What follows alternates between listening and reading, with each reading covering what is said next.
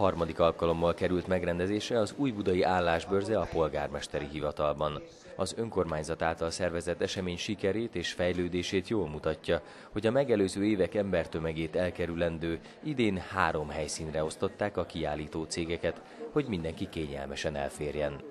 A vezetés szerint manapság az egyik legfontosabb feladat, hogy állást biztosítsanak az embereknek, amiben az idei bőrzén sem volt hiány. Az előző évek tapasztalatai is arra intettek bennünket, hogy ez egy jó gondolat, és az önkormányzat ebbe is vállaljon szerepet, és ez érdeke a munkáltatóknak, érdeke a munkátkeresőknek, és érdeke az önkormányzatnak is. 75 munkáltató jelentkezett a felhívásunkra, közöttük van több olyan munkahely közvetítő társaság, aki több ezer álláshelyel rendelkező adatbázisból tud kínálatot nyújtani az itt megjelenő munkát keresőknek.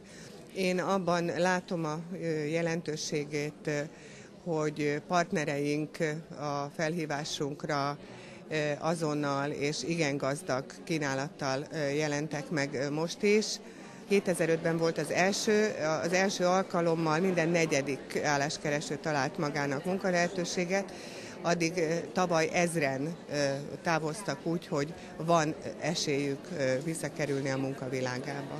Az új budai állásbőrzék mérlege tehát eredményesnek mondható. A munkaügyi központ embere is úgy gondolja, az állásbőrze talán a leghatékonyabb módja a munkakeresésnek, hiszen itt személyesen félreértések nélkül beszélhetik meg a felek igényeiket. A munkaügyi központ igazából az állásbőrzével olyan lehetőségeket próbál teremteni az álláskeresőknek, és nem csak az ügyfeleinknek, hanem minden álláskeresőnek, hogy minél hatékonyabban próbáljanak állást keresni, minél több lehetőséget tudjunk kínálni nekik az, az állás megszerzésére, és az egzisztencia kialakítására, vagy váltásra, vagy egyáltalán álláskeresésre. Kíváncsiak voltunk arra is, hogyan vélekednek erről a munkakeresők. Úgy tűnt, ők is biztosabb megoldásnak érzik a személyes találkozást a hirdetéseknél. Már eleve le van írva, hogy melyik részen kit keresnek, és akkor így egyszerűbb. Leülök, megmondom, hogy én mit szeretnék, és akkor ők is már konkrétan tudják mondani, hogy ők kit keresnek.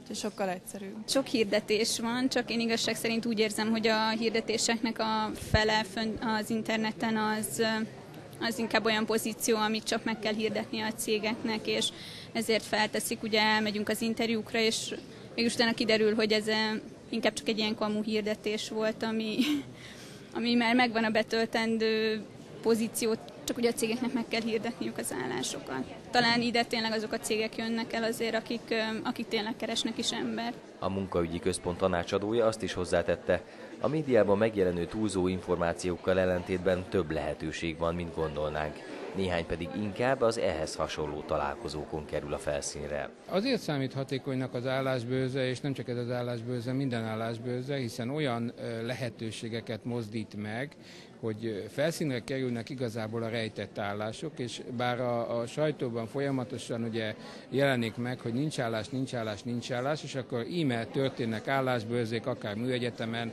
akár nálunk, és bizony 1000, 2000, 3000, 4000 állás lehetőség van. Itt 75 munkáltató van ezen az állásbőrzén, hoztak magukkal nagyon alábecsülten 1000 állásajánlatot, ha azt mondom, hogy korrekt akarok lenni, akkor kb. 2000 állásajánlatot, hiszen vannak itt magánközvetítők, közvetítők is, amelyek önmagukban akár két-háromszázat is hozhattak maguknak, úgyhogy van állás lehetőség.